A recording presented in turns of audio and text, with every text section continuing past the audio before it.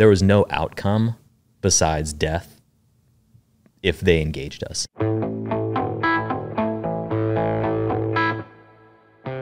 They knew that we were hunting and Yeah. we were there for a fight. So we were far enough in the war and people knew who we were that they knew it wasn't worth engaging. And that was like legitimately middle of the nowhere deployment.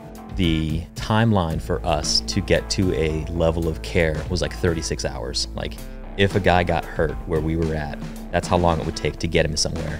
All that knowledge that I gained on like what it takes to live and operate in the mountains, we got to use that offensively against guys that had to use the mountains to move in the country. So it was like, I don't know, it's just like righteous. Like it, it feels good to kill ISIS guys. You know, there's no qualms about it. You know, there's, I'm not happy about everybody that, that gets killed. It'd be great if that wasn't the answer all the time, but when it's ISIS, it is the answer. And yeah, no qualms about it. Very black.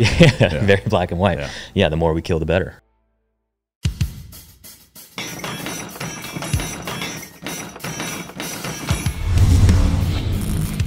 Welcome to Mike Drop, the podcast where relevancy is irrelevant and we don't give a shit about your feelings. Ladies and gentlemen, as always, it's both an honor and a pleasure to welcome my next guest to the podcast. He spent 20 years on active duty in the United States Army, 15 of which was with Special Forces. He did two Afghanistan deployments, two Africa deployments, and two Iraq deployments. He's a mountain operations specialist to the highest degree.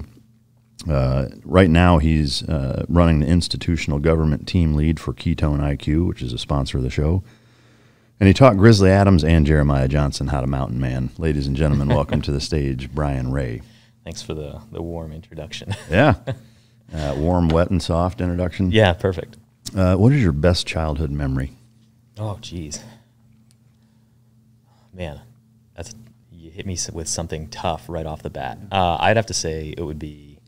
Uh, I did a lot of traveling when I was younger. Um, my mom's always been kind of a vagabond, so um, we spent some time in Europe. We'd go to Italy, but w- whenever we'd go to trips, it was always like we were always in hostels. We were always like the cheapest way we could do it because it's not like by getting any- the full experience. yeah, so it's not like in any way that we were just like bougie about it and going all over the place. But uh, with that, I, I guess it would just be those trips because like the amount of experience that I was able to get and see the different cultures and experience that, um, especially like on the grind, you know, like living with families and hostels from like all these small places. Um, probably just that in general, all encompassing memory wise Yeah. would be like just doing those trips. Dude, that's cool as shit, man. What a what a valuable way to grow up. Because I, I think uh, if there's one thing that our children generate generationally lack here in the United States now, it's that. It's a lack of perspective, you Yeah. know, of, of how the rest of the world is and, and, Big time. you know how things are here comparatively and whatever. I, I think it would be we'd be far better off as a nation if uh, more more parents did that. Yeah. You know, if we comparison, you know, they say comparison is the thief of joy, but I think if you use it the other way too, you can realize that you've got it pretty good. Yeah. You know, every time I've gone to a place where it's like just really poor conditions and you see how happy the people can still be and you see like, hey man, this kid's like seven year old and he's running his own goat herd Yeah. and that's his role. And these people are happy. Yeah. And then you come here and people are like, oh, my freaking iPhone died. Like it's the worst day ever. It's like, Yeah. man, my dad took my iPhone from me. it's like, Jesus, Yeah. doesn't sound that bad to me. Yeah, I know So, I know it. Uh, what's the last book that you read and finished? Uh, geez, I'm a horrible book finisher. I'm a pretty good book starter. You have like 19 half half read books. Yeah, pretty there? much. I like get going and then I get on to something else. But um, so I'm actually my current book is it's uh, Brain Energy by Dr. Chris Palmer. Um, as I've started getting more into the space of like I wouldn't say neurophysiology, like I'm like a, a genius that I'm not, but I work with a lot of people who are, and tying that into like TBI and mental health stuff. It's like super intriguing to me as we get into like alternative medicines and different treatments and really understanding the problems. Like so, that's kind of where I'm at right now. Is just trying to figure more and more, you know, how to help out in that space. So that's that's the book I'm currently on. Yeah, I got you. Uh, your morning routine on a normal day when you're actually in town. So in town, um, wake up at six, start getting my kids ready for school. No I- cold plunge. I haven't gotten there yet. All right. so uh, I do cold plunge in the morning. Um, so I've got a, a little sunroom that's that's non-heated. So in the winter season, it's my natural cold plunge. So I'll wake them up. I'll go get in anywhere from like three to five minutes, depending on you know how much ice I have to break. Do you keep track of the temperature? I mean, obviously, if you're breaking ice, Not it's really. It's like yeah, it's generally under forty. it- what about in Um, the summertime? Yeah, in the summer I just don't do it. Oh, I just okay. do, I just stick to cold showers. Yeah. Um, it's funny as I started doing I started doing that years ago. Like even before COVID, I was already taking cold showers because I just started doing it because I liked it as a challenge. Like man, I like to be able to just get in and suck it up. It's a good way to start the day. Yeah. But then I started seeing how much like benefit there was as far as like increasing white blood cells and not getting sick as often. So it just became part of my routine to only take cold showers. And now it's like it's like a really big thing. Like everyone's doing it. Yeah. How long do you cold shower for? Um, just enough to do the job. Like Yeah. I don't, I don't, I don't get in and like just sit there and enjoy it. Like I just Yeah. do the job, get out, and get going. Yeah. Uh, I'm going to take a, uh quick break. I, I do want to let you guys know um, the way that you can support the show is to support our sponsors.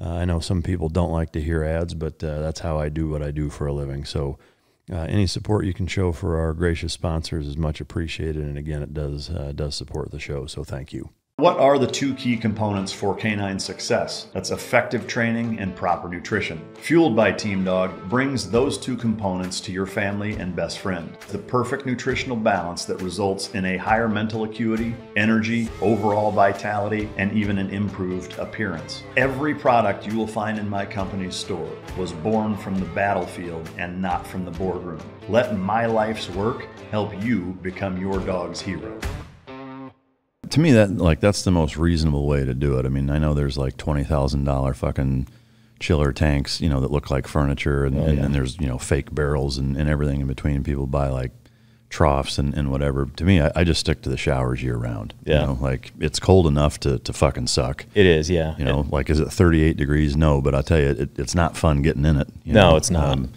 even if it's fucking 68 degrees, like that's still cold enough, you know, to, to shove your balls into your throat and, and not want to be in it, you know. So uh, to me, I think it's kind of splitting atoms. Like, well, it needs to be under 54 degrees, and for this, you know, like I spend two minutes every morning, you know, and, and as cold as the water will go. In the summertime, it's a little warmer, but it's fucking way hotter out. So Yeah. you know, the contrast is still there, and and and it serves me well. But I'm not trying to hijack the thing. Sorry, go ahead. Morning yeah. routine. No, no, yeah. So um, it's just real quick segment. What's funny is what got me into that is we actually started doing not I wouldn't say cold plunges for like wellness for the military, but in one of our training events, we put guys in the ice as a survival aspect to it. Yeah. So, and I guess as we get in into mountain stuff, we can kind of go into detail on that. But like Yeah. that was the first time I'd really like gone into like cold water, and I just realized how much I enjoyed it. So. Yeah, that's awesome. Yeah, so morning routine continued on. So I've done my cold plunge, go shower, get ready, come downstairs, and by then, my first two rounds of kids have eaten and they're ready to go to school. So I leave about quarter to seven, take them to school, come back. Next two rounds of kids who are getting ready to go to uh, elementary school. Um, either I'll take them or my wife will take them to school, and I'll, I'll start getting to work. So um, I usually put in work first thing in the morning, and then after lunch is really when my workouts start. That's when I like to do my runs or workouts. Um, then go pick up kids and get on with the routine, whether they've got sports or whatever else. So Do you not eat in the first half of the day? Uh, not that often. If I do, it's usually just like something quick. Um, I'll cook up some sausage or eggs or whatever. Yeah. Um, but yeah, I don't like I don't like jump to jump to eat right away. I try not to eat as traditionally as like, hey, there's breakfast, lunch, and dinner. You have to eat those times. Um, I've kind of shifted more towards I fuel for necessity. Like, hey, I'm going to do this, so I need to make sure I eat something that can get me through to this. Yeah. And, and it's it's kind of helped a little bit. you know? Yeah. Do you subscribe to any particular eating style, or does that also depend on what you're what you have going on? Yeah, at this point, at this point, I've got more neutral. Um, I've gone, I've gone strict keto just because I wanted to try it out. Um, I want to see what it was like. And, and granted, I really like the way I felt when I was on it. The, the weight loss is like fantastic on it, but it's a little bit harder to maintain. And I don't necessarily like eating different from my kids all the time. Like, Yeah. I still want to enjoy pizza night with my kids. Like, I want to Sure. eat pizza occasionally. Yeah. Like when a freaking eight cases of Girl Scout cookies show up, like I want half of them. I want to eat some Girl Scout cookies too. So, Yeah. you know, it's kind of like, yeah, you know, I'll I'll treat myself occasionally. So I'm not super strict on it. Um, Yeah. But I also understand like what I've done to my body when I've done that. It's like, hey, I took this. I know it's probably going to make me not feel that great, Yeah. or I'm going to have to work this hard to to get back to like you know neutral for myself. So Yeah, yeah, no, that makes good sense. Um, all right, so in terms of where you grew up, I, obviously you said your mom was a vagabond. Um, I'd, I'd like to talk just a little bit about your childhood and backstory. Where did you grow up, and and talk to me about kind of the the childhood experience from your perspective? Yeah, so I guess pretty unique looking back on it as I compare it to other people I've, I've met. But um, so I was born on Fort Bragg at Womack, which anyone who's been there is familiar with Womack. Um, I was born there while my dad was going through the Q course. He was a, he was a team guy as well. Wow. Um, not long after my parents had separated, uh, I went and lived with my grandparents in Lancaster, Pennsylvania. So, which is like full on Amish town. It's like the uh, like Amish mafia. I think that's where it was filmed, like right around that area. So, um, I grew up there. Uh, well, I wouldn't say grew up. I was there for a number of years. Then I moved to Germany. I lived in Germany and went to kindergarten there. German was my first, like my first like real language. Do you speak it fluent now? No, I don't. No, that's one thing I wish I wish my grandparents and parents would have insisted on is that I kept using it. Yeah. But once I moved back to the states, I just never used it, and it was just nothing but remnants left from there. So from there, uh, moved to Missouri. Spent some time there because my mom had, had met another guy, and we were living there. So I was in St. Charles and St. Louis for a short while. After that, I think I was about 13 years old. Um, my mom said, "Do you want to do you want to go live with your dad?" I was like, "I, I guess I don't know him." Uh, So I was, yeah, was going to be my question is in Yeah. that first 13 years, did you have almost no contact? Zero contact. Zero contact. I didn't know anything about him except he was an army guy. Wow. That's all I knew. Um, and, and it wasn't like a, they didn't have like a toxic relationship. It wasn't just like she wasn't like constantly like shitting on him or anything. It wasn't like that. But um, he was doing his thing and we were doing our thing. So she was like, "Hey, do you want to go live with your dad in Germany again?" I was like, "Sure, why not?" Like, okay. Wow. So uh, we moved to Germany. Um, we stayed at a we were at like a real small town. It was an awesome little military base. It was in Bad Aibling. It was like maybe 150 people there. So it was like deep South Bavaria, um, beautiful country. So I was there through middle school. Um, after that, my dad got stationed back at 10th Group, and that's when I moved to Colorado Springs and started high school. So that's what that was my like when I say I'm from Colorado Springs, like that's where I tie it to. I moved there in '98, so I spent the longest time there and the most invested there. So um, that's when that's when that chapter started, the, the Colorado Springs chapter. Wow. Did you play any sports uh, up until high school? I played soccer. Um, obviously, growing up and being in Germany, that was a big part. Uh, so I played competitively. Then when I got to high school, I played varsity throughout my. Um, Were you kicking ass from playing in Germany and like were you pretty good? I, I did come in pretty good, and as in, not to like bolster thing, like say, oh, I'm freaking great dude, but I came in, you know, as a as a freshman, and and I was holding my own on the team already. Like I was already Yeah. like pretty decent. So that's cool. Um, and so during your your time in high school, did you your dad like your, your so your mom and dad got back together basically prior to that, or or when she I wouldn't I wouldn't say got back together. It was more of a co-parent type situation. Um, you know, whenever he left for deployments, because he was still active duty at the time. Whenever he left to form for deployments, my mom would come in and you know she'd be there to take care of us, and then they'd kind of swap out when deployment was over. Um, it was just kind of the way that went. Like very rarely were they both there at the same time. Wow. Um, When when you first uh, went back to Germany and linked up with him, was it awkward, weird? Did you harbor any animosity? Was it okay? How, how did that go?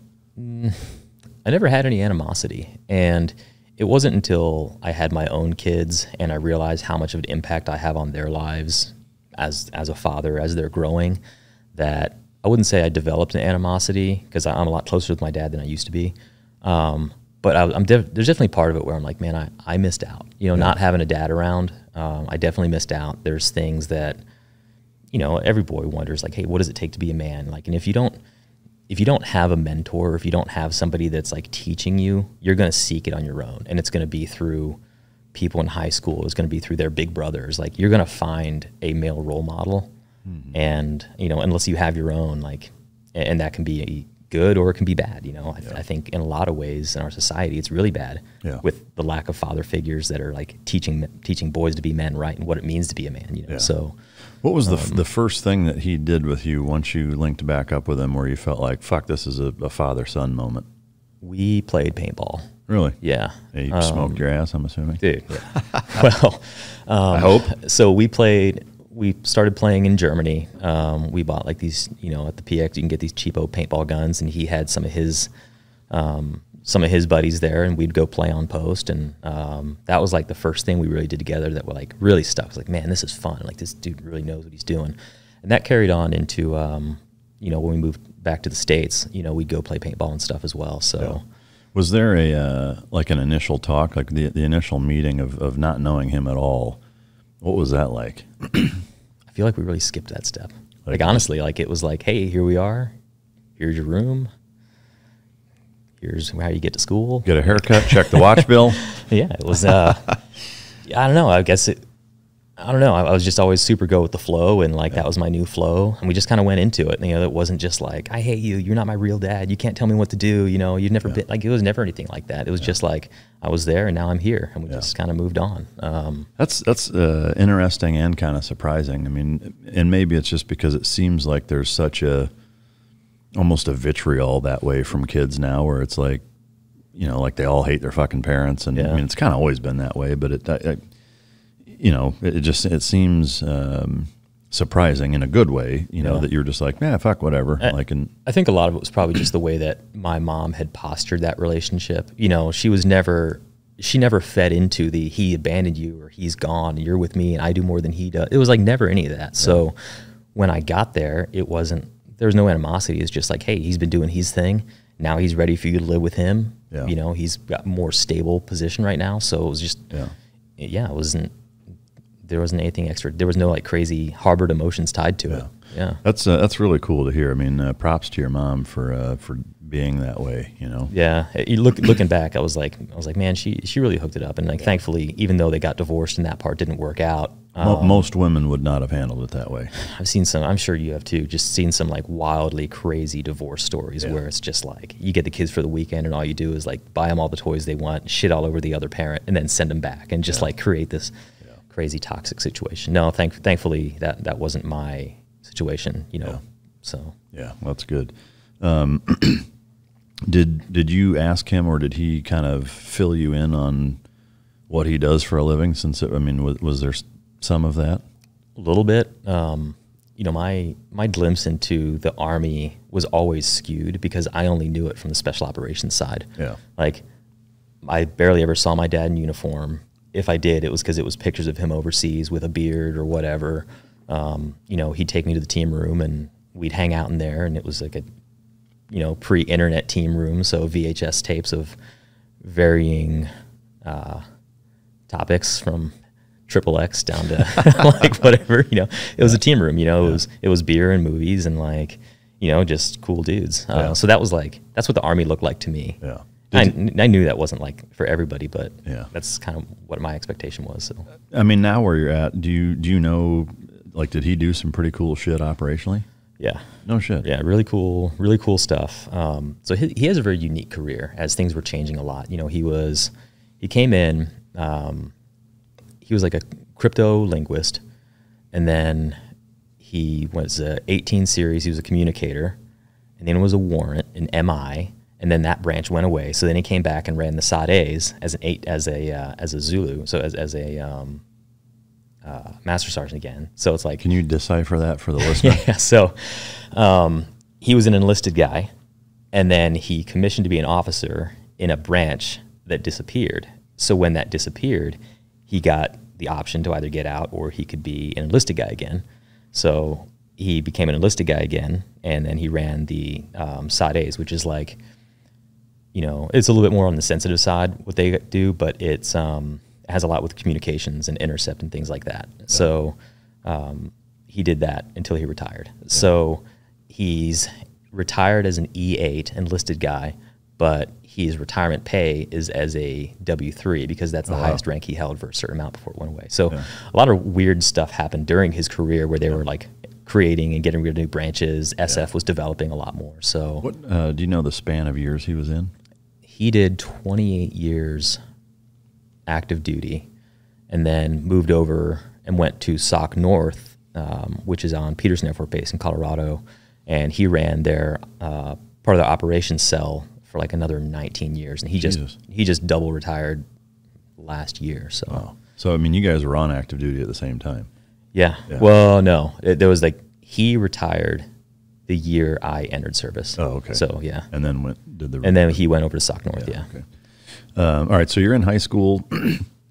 um, was was there a, an element from him doing what he did from a motivation to serve? Like, was there a, a defining moment that you were like, you know what, I want to be a fucking Green Beret in high school, or how, how did you decide that that's what you wanted to do? Um, I mean, there was definitely some influence there, but I, I think really my reason to join the military was I, I knew I wasn't ready for college.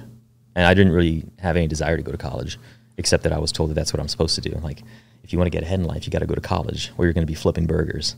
Coincidentally, I know a lot of people who flip burgers that have been to college. So, like, Yeah. um, so no, it was more of a I want to do something. I don't want to be stagnant. So I'm going to join the army until I figure out what I want to do. So I enlisted just uh, just as an infantry guy, unassigned, airborne. Because I was going to join the army, I want to do something cool. I want to be you know a combat guy, and he didn't really push me towards SF at all. Um, you know, did was- he discourage it, or did, I mean, did he talk to you at all about it? no, honestly, his only his only advice, he just said, "Don't be a leg." yeah. So for the At least jump out of fucking that plane. that was his thing, you know. And he and he started his career in the 82nd too, so he's been like, you know, he probably has like airborne wings like embedded in him, you know, like. But uh, and for those who don't understand, leg is a semi-derogatory term for those who don't jump out of airplanes in the military. So Which stands for what? what's that? Lacking enough guts. Yeah. so just so yeah, he just said don't be a leg. So I signed up and I didn't be a leg. Um, yeah. That's that's wild. I mean, I like put trying to put myself in his shoes. It would be hard to have that little of input. Um, you know, I mean, like, obviously it was a totally different scenario. You, you know, you spent the first, you know, or I mean, really more than half. I mean, most of your childhood not with you. So I Yeah. guess maybe that was part of it. But I would just think like, even under those circumstances, if I had a son and at 13 he shows up and a few years later he's like, yeah, I want to join the army. I'd be like, sit the fuck down. Let's talk about it. Yeah. Uh, you should Yeah. join the Navy. yeah yeah I, I you know i've thought about that as my my oldest son is 14 now and it's funny the other day uh, we, we went we just went through my, my grandma passed away recently and we've got a bunch of old pictures and things that that i had sent her from my whole career and there was a picture of me in iraq when i was 18 um, and i showed it to him i was like dude this was me four years older than you are right now how freaking wild is that Yeah. like and it wasn't like a, hey you better get your shit together but it was like it was in my own realization like god dang i was young when i was in combat the first time Yeah, I know. and uh, now thinking that, man, he's just a couple years from making that decision. Yeah. So, you know, Yeah. being a father with that influence, Yeah. you yeah. know, I mean, my when when I was my oldest child's age, right as we sit here today, I was in in boot camp. Yeah, You know, uh, which is fucking crazy. it's it's nuts to think about. Yeah. yeah. Um, so all right. So you join, uh, you go to Benning, um, regular infantry. Yep. H- how did how was that comparative to how you thought it was going to be?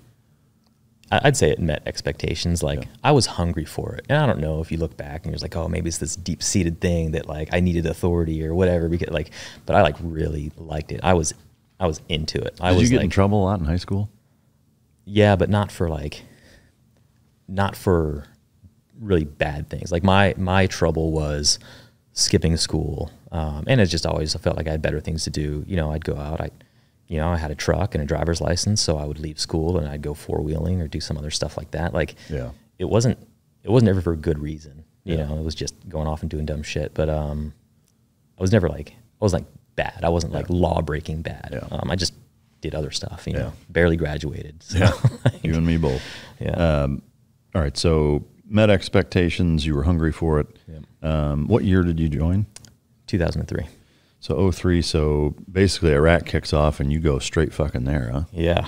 Tell yeah. me, tell me about that experience. Yeah. So um, when I joined, uh, I was told that I was going to go to Fort Polk to be with the 509th, which is they're the OPFOR unit. So you know when units go down to train to Louisiana, you have guys who they train to be bad guys, and you fight against them in the Sim War, and you know that that's how you get validated to for your own unit to go to go to combat. So I was part of that unit that, that was the bad guys, and I think what a lot of people don't understand about that unit is that they are very tactically proficient on U.S. Army infantry skills as well as adversarial skills. So um, it's actually like a really good unit to be in because you get to see what it's like being on both sides, so you understand it better. And Yeah.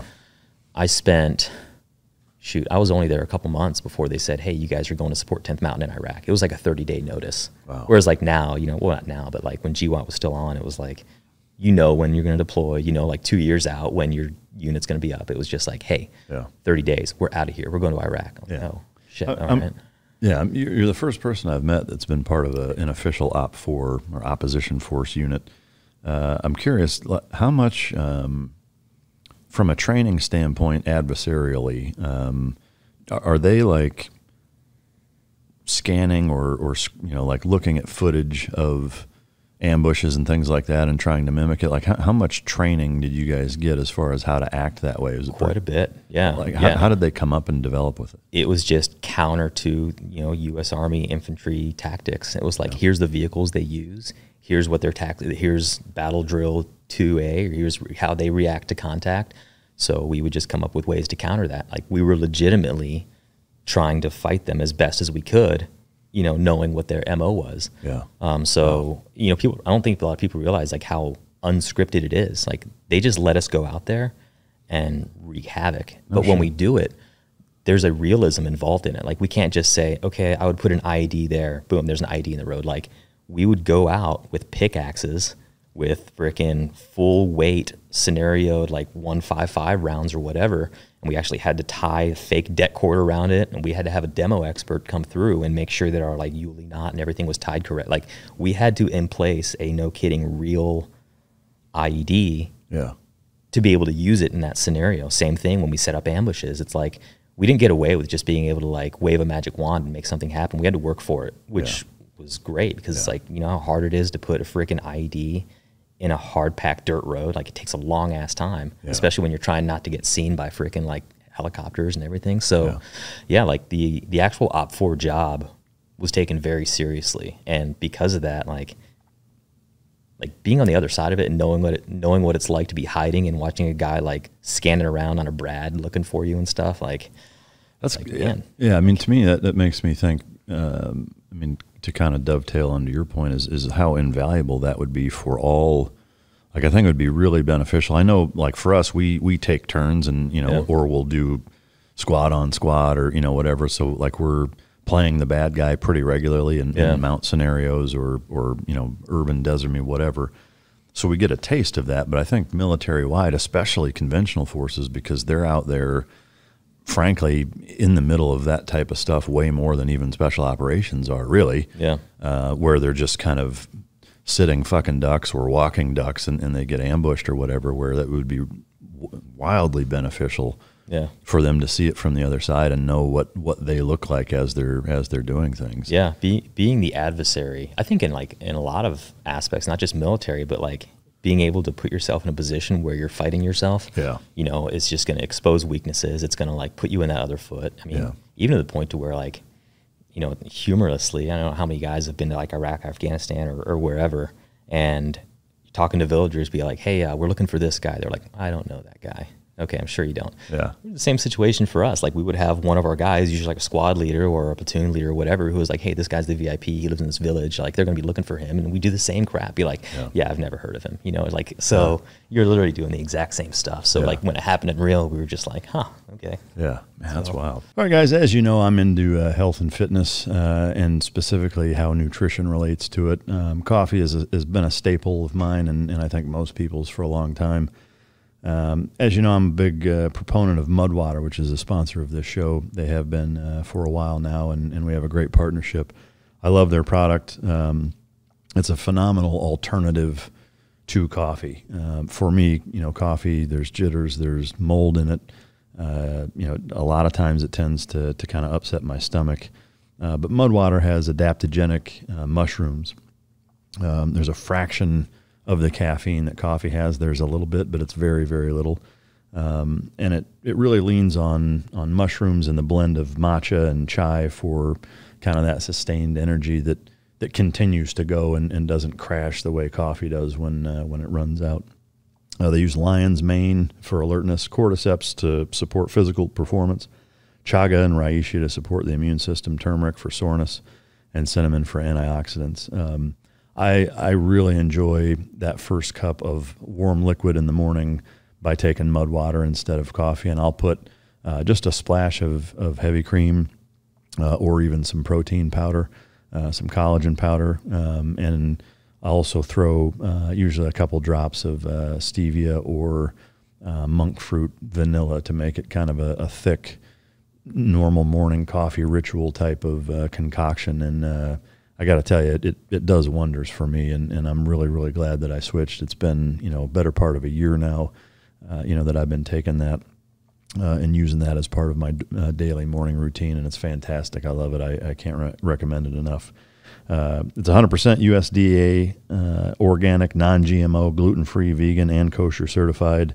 Uh, and they also donate to the Berkeley Center for Science of Psychedelics, which is you know groundbreaking and leading research to help veterans with PTSD and other associated illnesses and, and syndromes. So uh, great cause, great company, phenomenal product. If you go to Mudwater, that's M U D W T R dot com forward slash Mike to su- support this show and the product, uh, and use the code Mike Mud, M I K E M U D, all caps for fifteen percent off. That's again Mudwater, M U D W T R dot com forward slash Mike.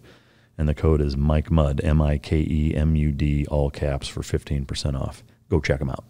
Yeah. Did you find yourself later on in your career as a as a special operator thinking back to those moments and drawing from your time as an OPFOR guy? Always. Oh, yeah. shit. Yeah. I don't think that has ever left. Maybe not necessarily the the exact like counter tactics and things that we did, but just putting myself in that mindset and whenever you know, as we start getting to more mission planning and things like that, actually being able to jump forward into our plan, putting ourselves in position to fight our own plan and saying, all right, if I was a bad guy and I was here when my plan executed, what would I do? How would I feel? How would I, what would suppress me and keep me from being able to attack? Yeah. You know, so I carried that mindset throughout the rest of my career just to counter my own plans. Sure. Um, so Man, that's like I said, it just uh, kind of light light bulb moment wise, like how massively beneficial that would be for for all guys to spend some time doing that. Yeah, and I think I think a lot of guys you know hate hearing that they have to go to NTC or JRTC because it's generally for the for the training unit kind of a miserable experience. You know, Yeah. you get beat up and then they come tell you how fucked up you are. Like, Yeah. so, Yeah. Um, but but in reality, there is a lot of value in it if executed properly. And Yeah. yeah. like if you can do some force on force, but not just like blue on blue tactics, but it can be legitimate. Like, hey, I want you to think like a bad guy and be a bad guy. Yeah. Super awesome, realistic training opportunity. You Yeah. don't have to be OPFOR to do it. You can set like teams can do their own training. Like Yeah, that's really cool. Um, all right, so they gave you 30 day notice. Uh, Now you know you're going to Iraq. What was boots on the ground when you first showed up there like? Yeah, so um, we landed in uh, Camp Buehring, Kuwait, which was I think a lot of people spent time there, and at that time we still weren't flying into country. So the way that they would, the way that they would get all these support units and all that stuff up to Baghdad or whatever is whenever an infantry unit would would uh, rip into country, you would be their escort into country. So you know you fly into Kuwait, and then you're going to drive with a convoy all the way up to Baghdad to deliver them, and then you're going to go to wherever you're going to get stationed to. So you know, spent spent I don't know, I can't remember. It wasn't that long, a couple weeks doing some pre-deployment training in Kuwait. And then they get our vehicles and our gigantic convoy of support vehicles and I'm like, all right guys, take these dudes to Baghdad. And that's what we did, and crossed the border and drove all the way into Baghdad. Um, so that was like that was the first experience. And jumping back, I was like tell the story because I think it's super humorous, especially if you know like young lieutenants who are super optimistic about the world and they think it'll change everything. Um, I was a RTO uh, at the time. I just I don't know. I guess I had a good connection with the PL, and you know I was fairly competent on the radio. So uh, I'm riding in his truck, and he's like, he's going to change the world big time. And we're seeing all these families on the side of the road, and uh, you know like people were like asking for money or asking for water or whatever. He's like, I'm going to throw these these next group of people. I'm going to throw a water bottle to them. You know that just to just to help them out, just to show them that America's here. You know, so I'm like, all right, That's dude. gonna that's gonna make the difference. All right, dude. And for those who have been deployed and seen, like the water bottles you get when you're overseas, they're not 12 ounce water bottles. They're like a liter and a half. They're Yeah. big. Yeah. Um, so he takes this thing out, and as we're driving down the road, he sees his family. He's like, "All right, I'm gonna throw this to them." he chucks this thing out the window and like explodes at their feet, just like splashes water all over them, and like. He just looked back forward in silence, didn't say a word, and like it was the funniest thing. It was like, "America's here, bitches! Like, you're welcome for my service." It was so funny.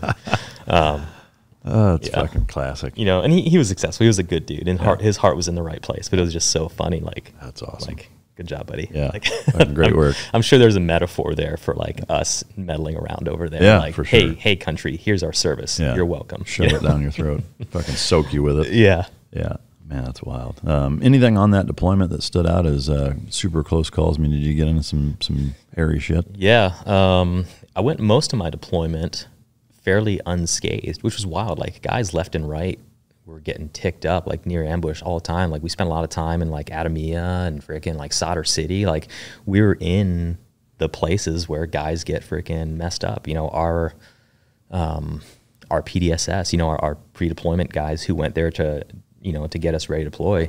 Like three of those guys came back with freaking like Purple Hearts. Like our BC got, you know, hit with an RPG like on his first ride out and freaking went home with a CIB and a and a Purple Heart like two weeks into country. So it's like, but my platoon specifically, man, it's just like it barely ever happened. And if it did, it was like pop shots here and there. And we were like patrolling almost every day until just about probably like two months out from from the uh, from our deployment being over.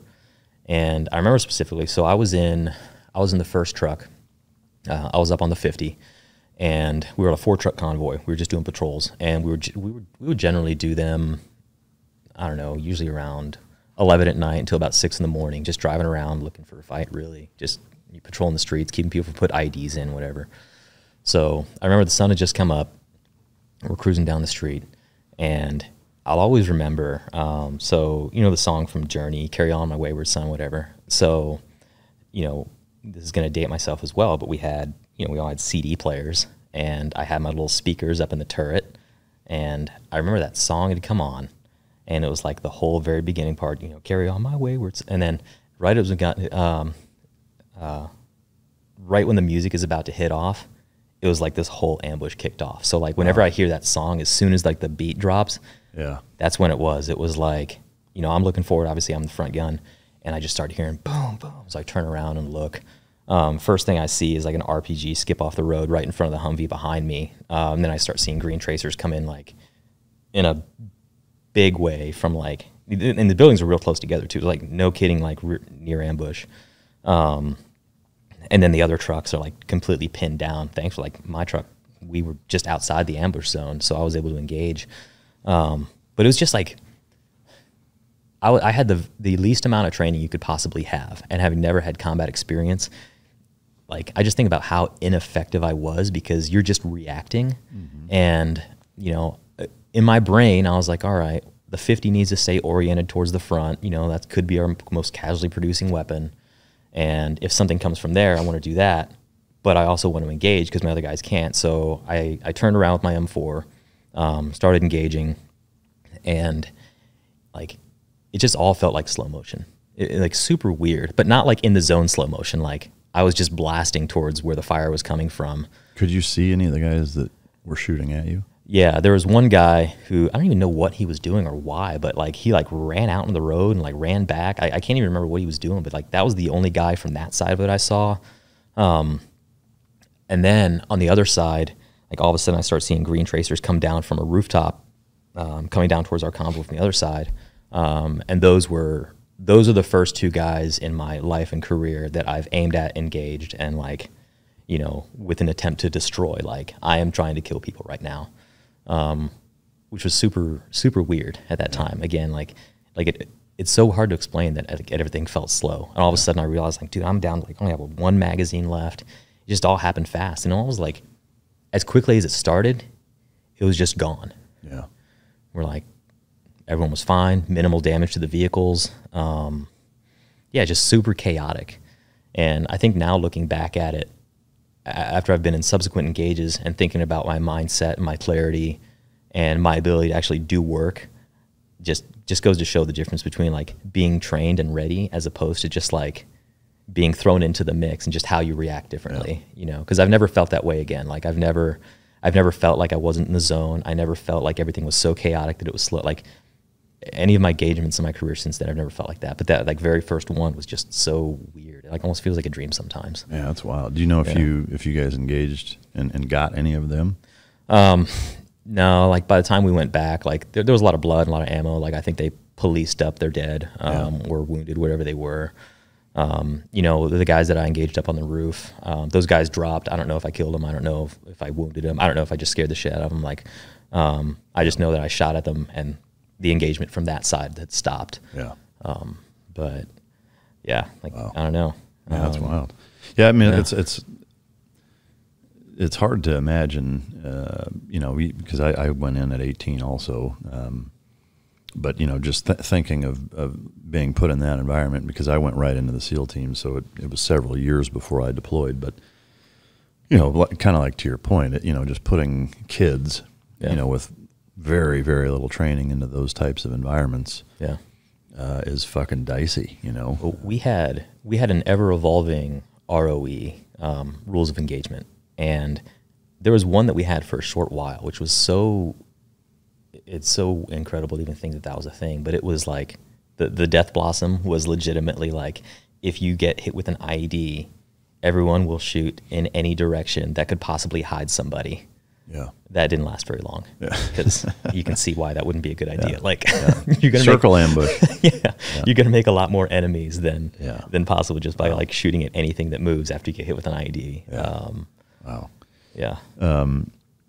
So did that was that the extent of that deployment for For yeah, for like big contacts, it was. Um, we had we had another IED strike on that trip as well. Um, thankfully, it was it wasn't close enough to kill anybody, just not to like kind of rock us. It was big boom, but just poor timing on the detonator uh, on on him for Yeah. for not hitting us. But uh, that was that was really it. Like I said, occasional pop shots, things like that. Yeah. Um, but that was the biggest one. Yeah. fairly unscathed. Yeah. yeah. So you come home from that. Um, was the subsequent deployment again to Iraq with regular infantry, or No, so that was my only conventional deployment. Yeah, so um, I got back and I had my ambitions. I was like, all right, well, I want to go.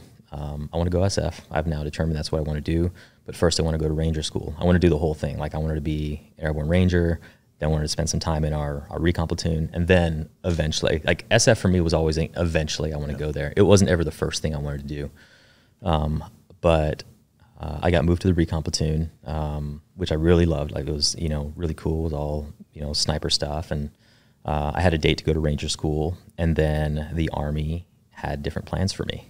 Um, they had started this thing called the Corporal Recruiting Program, where they wanted to get guys that were young, that had already been to combat, and they wanted to get them back out into the recruiting force. So I got that's a good deal. yeah.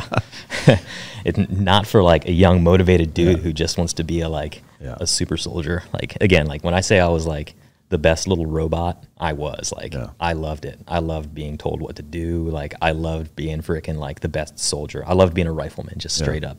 Tell me where to go, tell me what to dig, tell me what to shoot. I was just like super enthralled by it. Like um, but no, I got pulled into Corporal recruiting, and they said, "Hey, uh, uh, that's great that you've got those plans, but recruiting takes precedence over everything," which it does. You know, even like SF recruiting, like if you have a packet to go to selection, but you're going to be a recruiter, like you're going to be a recruiter. Yeah.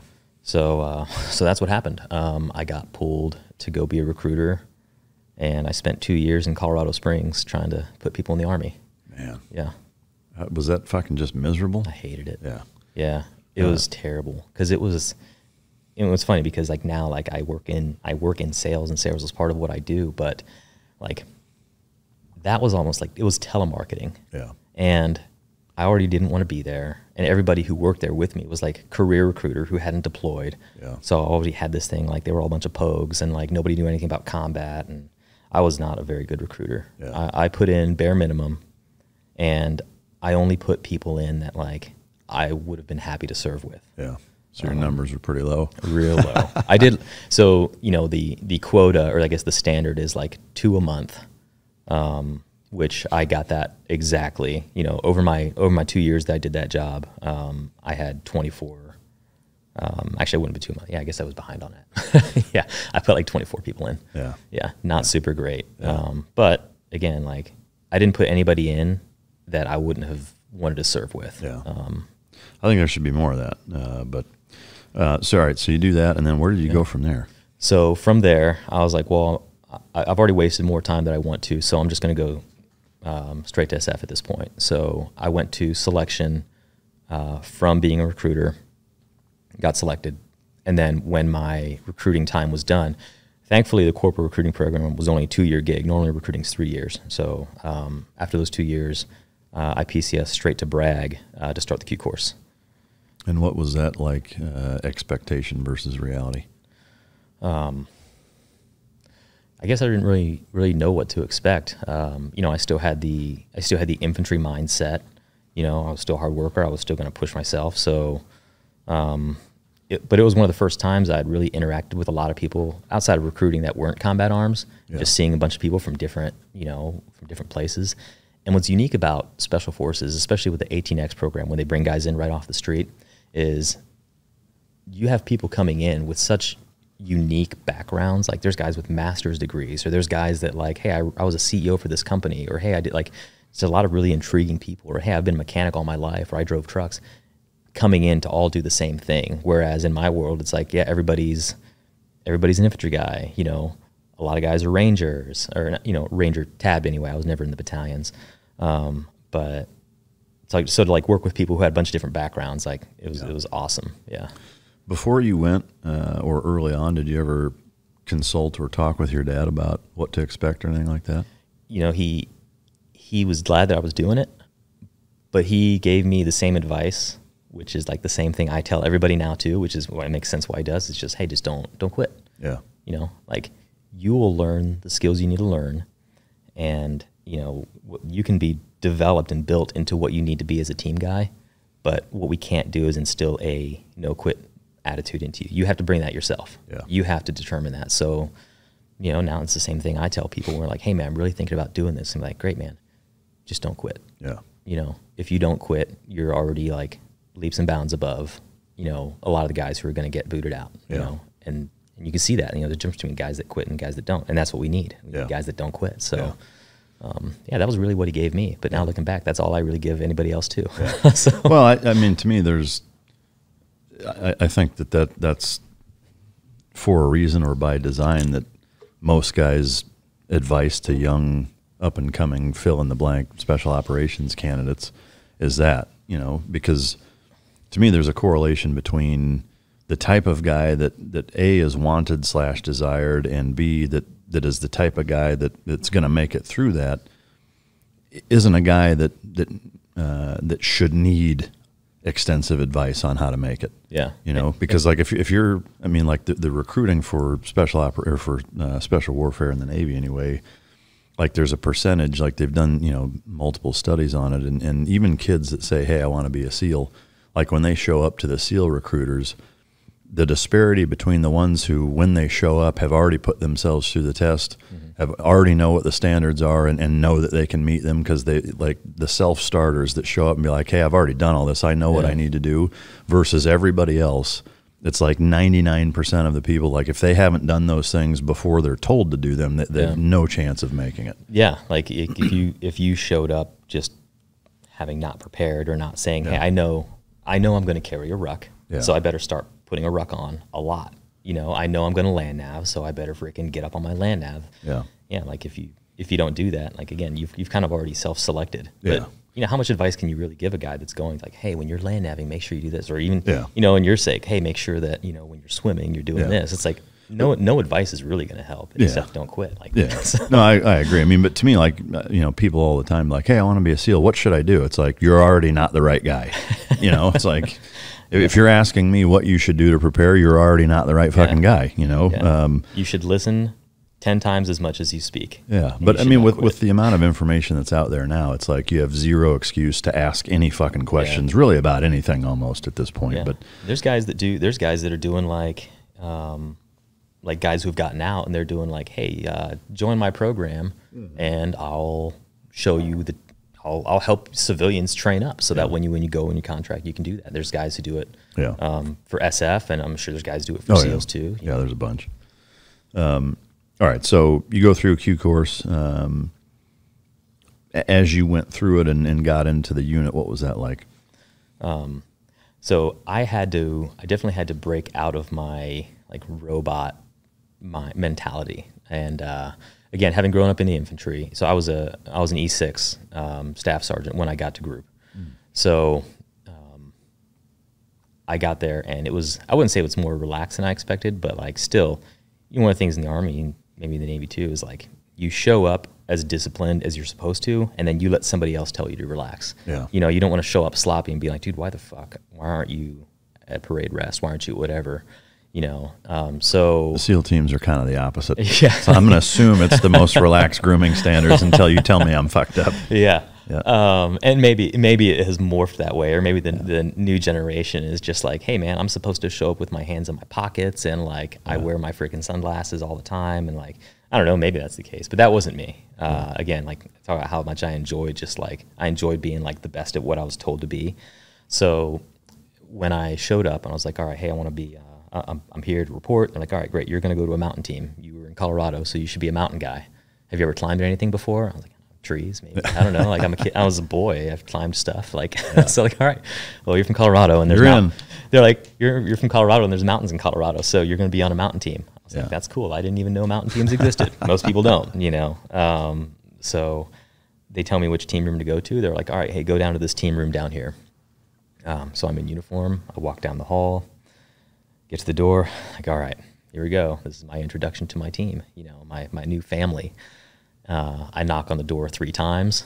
I announce my presence. You know, uh, I, I'm expecting them to say enter. Like for some reason in my mind, it was supposed to be like that. Uh, they open the door, and I remember I even like kind of like stuttered when I said it too because I was so nervous. Um, but I was like, "I'm Staff Sergeant Ray. I'm uh, reporting for duty." These dudes were like, like, what the Dude, fuck did you they- just say? Yeah, they looked at me like I was a fucking alien. they were like, they were all sitting on the couch, like watching TV or just bullshitting, just like non-training team room activity, you know. Um, and it was funny as I remember the buddy of mine who I went through the Q course with, who had gotten there just a little bit before me. He was looking up at the couch at me like, "Oh my gosh, you just fucked up, dude. Like, who are you?" I was like, I saw the look in his eye, and I was like, "Oh no, uh, that was the wrong team room." Oh, no shit. Yeah. So I got I got some bad intel. I went to the wrong team room and embarrassed myself. Um, I was like, I'm supposed to go to the mountain team. They were like, it's on the other side of the hall, jackass. All right, thanks, guys. so like, shut the door, turn around, and uh, do the exact same thing. You know. so um, yeah, this one was a little bit more relaxed. Uh, guy opened the door, sent me up to the team sergeant and, and captain. So I introduced myself and all that stuff. Uh, and that was the beginning. And that's where it was like, all right, hey, you, you can relax a little bit in here, man. And uh, you know, I, now I definitely got to the point now to where it's like I shy away from like super strict discipline army stuff, and I've completely been like, yeah, that's Yeah. now that's my life. So Deinstitutionalized. yeah, I've deinstitutionalized. I know when to put it on when I have to. Yeah. You know, because in the end, like you have to work with conventional guys or you Yeah. have to work, you know, with Department of State or whatever. So you, you have to know when to like turn the cool Yeah. guy off. yeah, But uh, yeah, read the room. yeah, exactly. But yeah, I'm now more comfortable as a cool guy. So Yeah, it that's took a while. Yeah. I want to take a second to talk about something near and dear to my heart, and that is a staunch supporter of this podcast, which is Bub's Naturals. Uh, the hat sitting in front of me uh, here on our coffee table here in the studio belonged to Glenn Doherty. His nickname was Bub. Uh, I did two platoons with him, and his childhood best friend uh, and another colleague of theirs, uh, Sean, is the best friend. TJ is their colleague. Uh, started Bub's Naturals, which is a collagen and MCT oil company uh, in Bub's or Glenn's honor. And um, you know, for me, it's it's uh, an absolute honor to be sponsored by and working with a company that um, you know was started in the honor of one of my closest friends and, and a guy that I went to war with.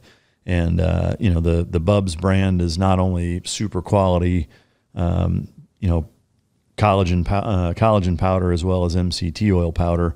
Um, you know, but they also give back to the Glenn Doherty Memorial Foundation. Uh, they donate proceeds from their product sales to the Glenn Doherty Memorial Foundation, which uh, you know to me just furthers uh, you know the the mission set on Veterans Day. They give hundred percent back. So.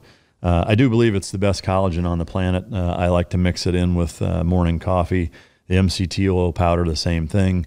Mixes in very easy. It tastes great, and it just kind of adds everything that you want to start your day off from a brain health standpoint, from uh, joint support, gut support. Um, you know, MCT oil and collagen are, are two components, especially as as we age, uh, that are integral components to uh, to health. And so, uh, to be able to work with Bubs Naturals and uh, be able to to work with them and, and sponsor a product that number one is a high quality product, and number two is is so near and dear to uh, you know to my heart and to the Mike Drop podcast for for who it uh, was started for and what it stands for.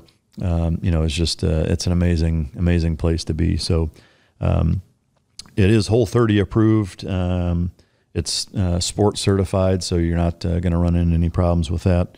Um, and I will say that um, you know right now they're they're offering uh, twenty percent. 20% off if you go to bubsnaturals.com and uh, use the Mike Drop code. So uh, I really highly encourage you to, to try it out, incorporate it into your day, day to day for joint health, for brain health, uh, for cognition, for gut health, and, uh, and to support an amazing organization that does a lot of things uh, in Glenn Bub's honor. So uh, go to bubsnaturals.com. Mike Drop is the code, 20% off. So you jumped right into the mountain unit. When when did you first deploy uh, with them? How how long was it from the time you checked in until you deployed? So it was within the first year, and because Afghanistan was so busy, and basically everybody had a piece of it. Third group, normally Africa's normally their one of their areas of responsibility, but tenth group had picked it up at the time, which was honestly looking back, I loved it because I, I love the Africa trips. But um, no, I went to um, Mali within a couple months of getting to the team. Um, super Operationally awesome. or training? No, it was a it was a training event, so it was a, it was a JCET. Yeah. Um, and it was like it was so austere. You know, it's the first time that a team had been there since like one of the many coups that this country has had. Um, so we were just living out in the middle of nowhere and, and just making it happen, working with guys that you know, would consistently get their ass kicked by frickin' whatever insert terrorist organizations in the area at this time. Yeah. And um, super rewarding. Like, man, I loved it. Like, like you get to see hope. You know, you get to you get to look at guys who are underfunded. You know, corruption is rampant. All the money we send over there, like only some of it makes it to those guys. Um, but they've got ammo. You've given them weapons, and you're actually teaching them tactics and it's like almost like for the first time they're like, dude, we could survive a fight. Like Yeah. we could actually win a fight. And it's true, they actually could. Yeah. Um, so yeah, like, really rewarding and super enjoyable experience, like working with guys that are legitimately about to go use it. Whereas like I think a lot of the European JCETs where you're working with like a near peer, Yeah. you know, yeah, you're exchanging training and they're getting stuff out of it and you're getting stuff out of it. But like working truly with like a country that's fighting for their sovereignty against like a, a extremist organization, like it's really rewarding. And Yeah. you know, Yeah, we did that with the Philippines um, when they were battling out with Abu Sayyaf down in the south. And, Yeah. uh, yeah, I agree. It was it was it was very different. Yeah. you know, um, it just seemed so much more real. But um, so you go to Mali, you come back. Yeah. Afghanistan was your first deployment as a Green Beret. no, so we went to Iraq Okay. after that one. So this was what like 05, 06? that was that one was in 2010. oh no, shit. Yeah, so very close to when we've kind of officially pulled out Yeah. of um, of Iraq. And what's funny is I remember being there uh, when they had announced that all combat operations had stopped in Iraq, which was funny. You know, like Yeah.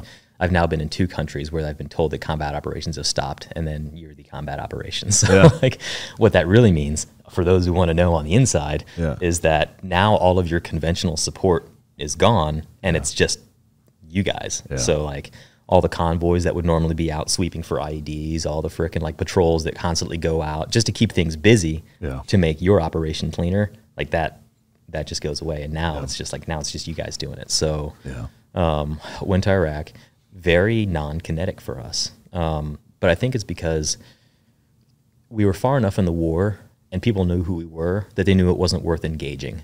You know, like they can get away with throwing grenades and, and ambushing the regular army guys um, because they were just going to huddle up in their in their big MRAPs and like they were just going to take it and then they were going to drive off.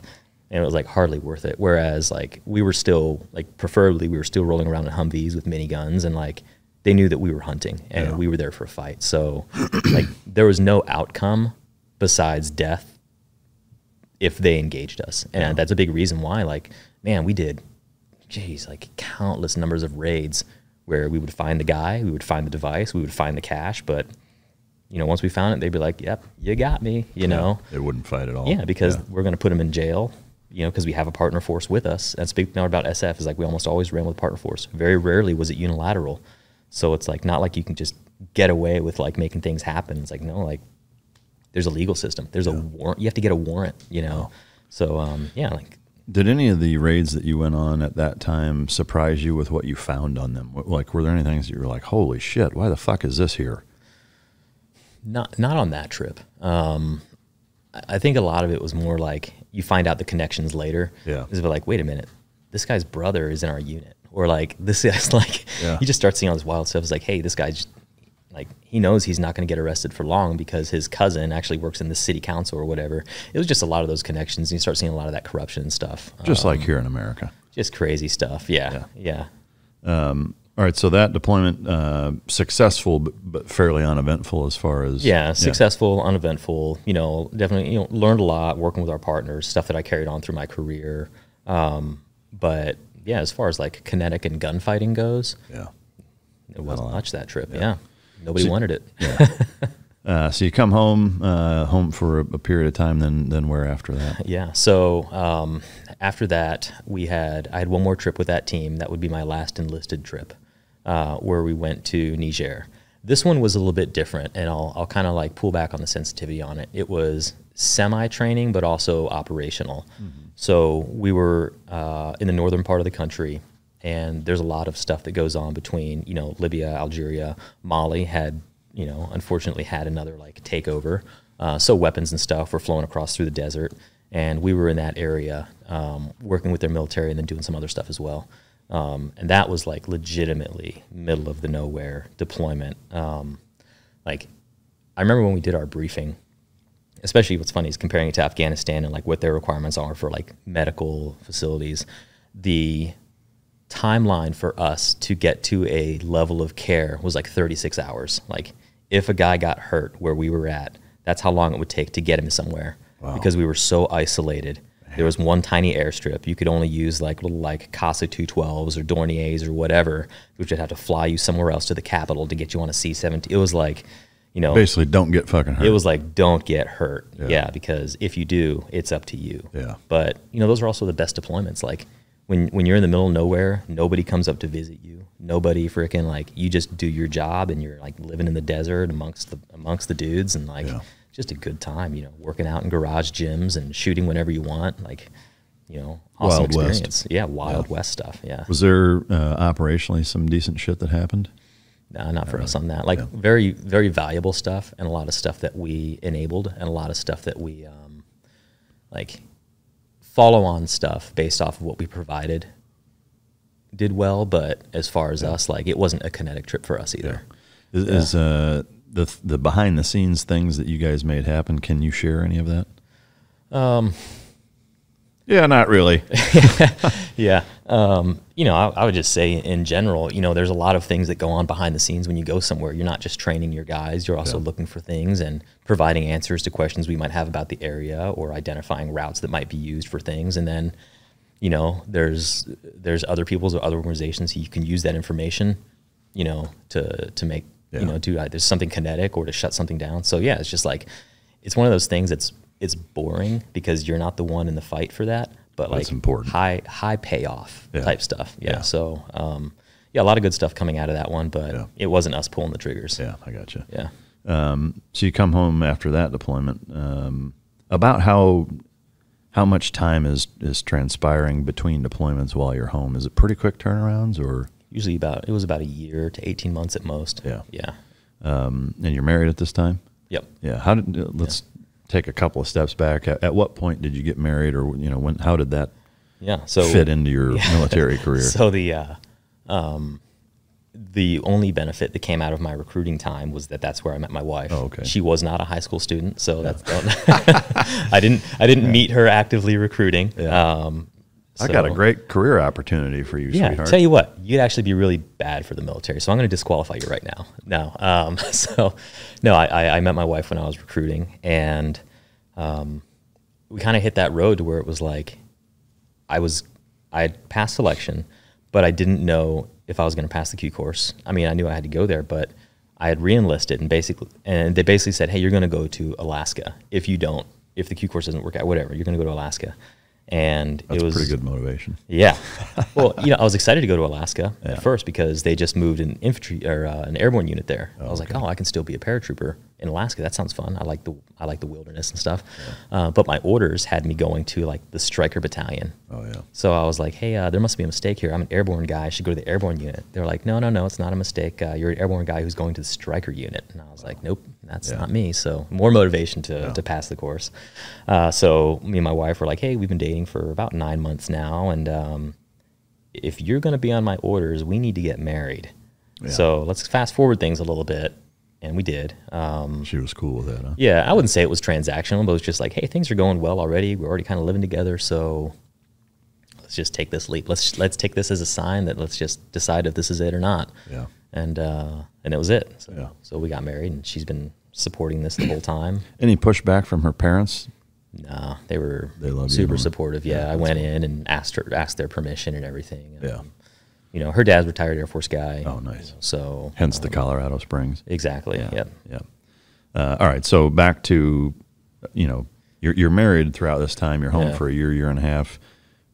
W- was it a typical strain that is put on most marriages? I mean, were, were there tough parts for you guys where being gone that much? And Yeah, obviously at this point you're having kids already because if you, Yeah. if you got a 14 year old, Yeah, we, we made kind of a kind of a weird decision, I guess. Um, is when I was in the Q course, we were like, let's let's have a kid now, because this is the best opportunity for me to be there for some things, at least for one kid. It's like I'll probably be there when he says his first word. I'll probably be there when he first walks, because once I get to the teams and start deploying, you're I'm going to miss a lot of stuff. So we made the decision like let's let's have our first kid, and from there we're like, all right, we're going to have, we're not going to like space them out by like ten years. Like we're going to have kids, and then we're going to be done having kids, and then we're going to be close together. So, um, yeah, and I, I think yeah, of course we started seeing that typical strain of me being gone and her dealing with kids and getting them to school and going through all that stuff. And obviously, as they get to school, it gets harder and harder for her. So Yeah.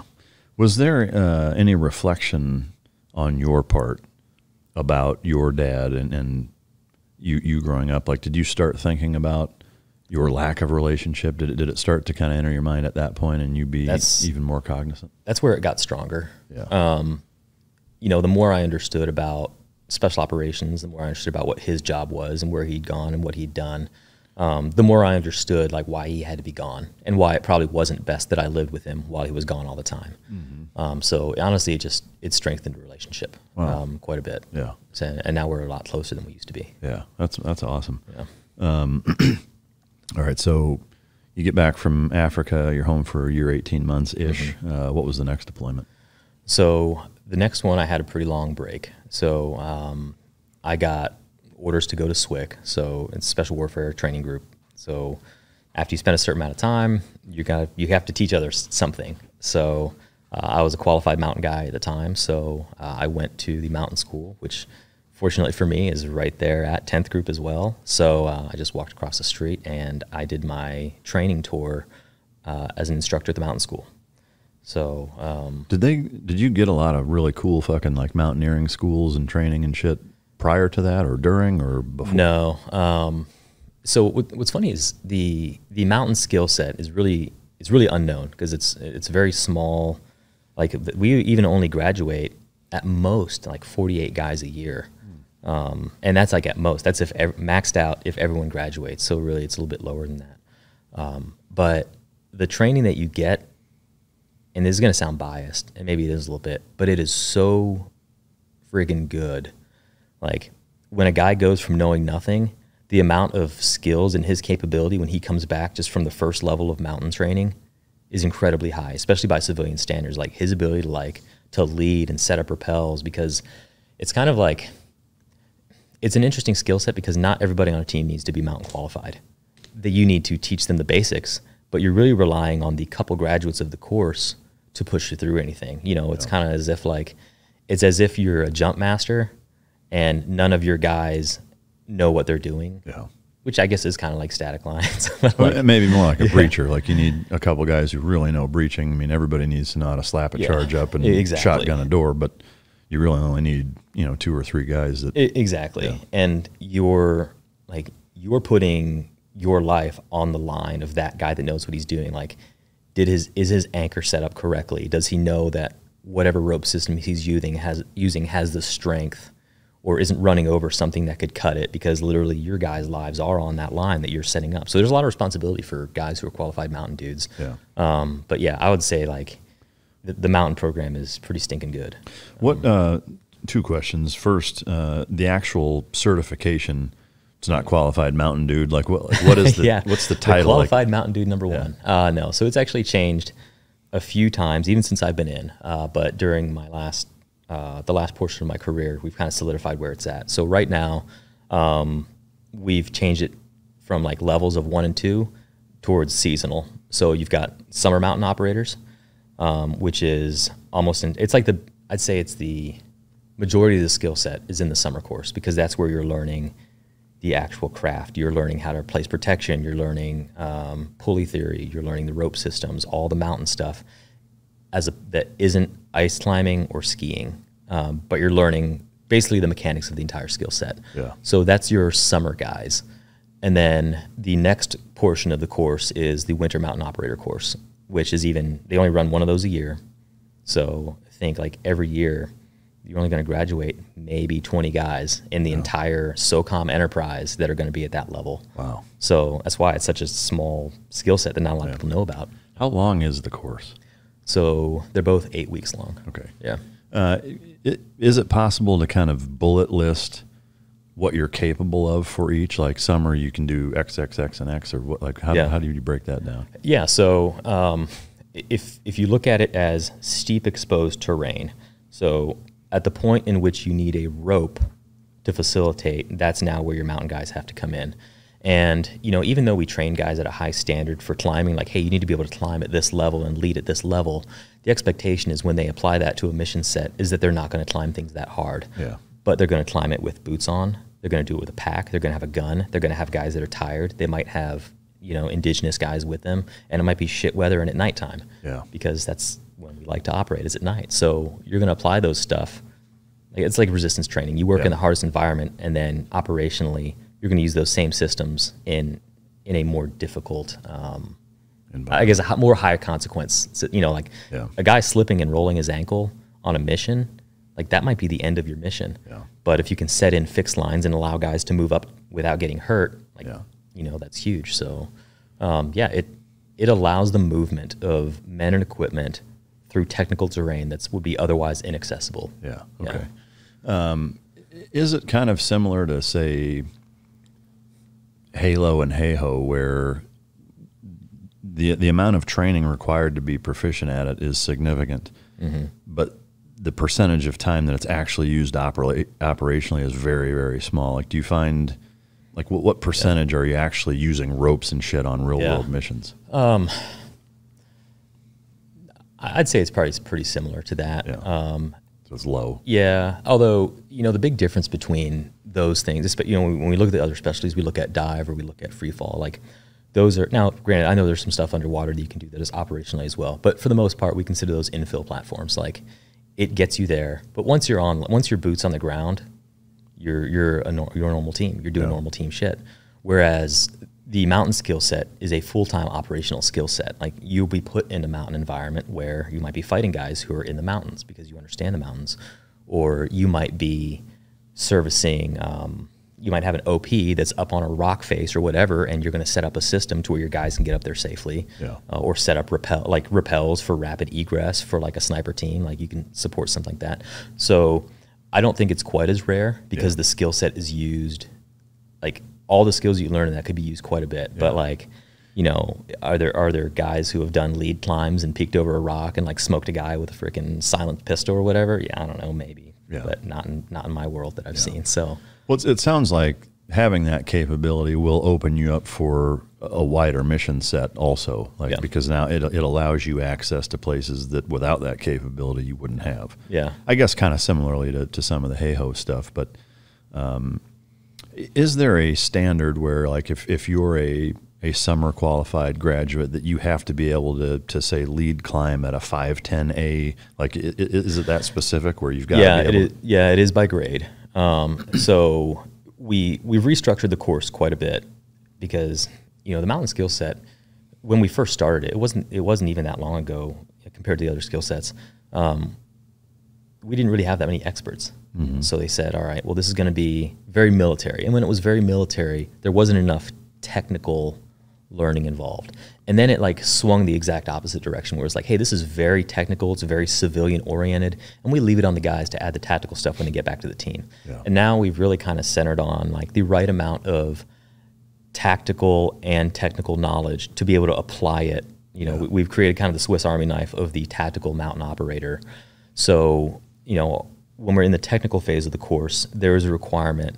Do you have to you have to lead at it was five seven, it might be five six now, but it was a five seven. You have to be able to lead two other people with gear. Yeah. So with packs, multi pitch climbs, um, you've got to lead the whole thing, and you're also getting tested on. You're getting tested on rescue.